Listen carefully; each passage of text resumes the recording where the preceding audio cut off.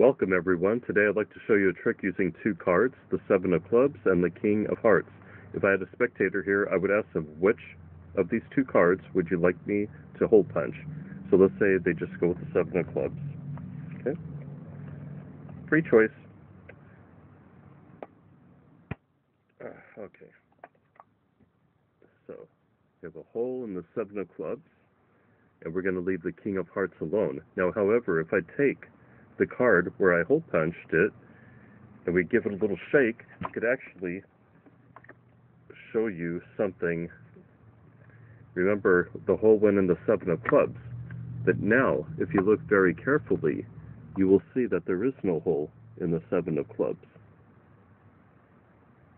That hole has now transferred to the king of hearts. I hope you enjoyed that one. Thank you for watching.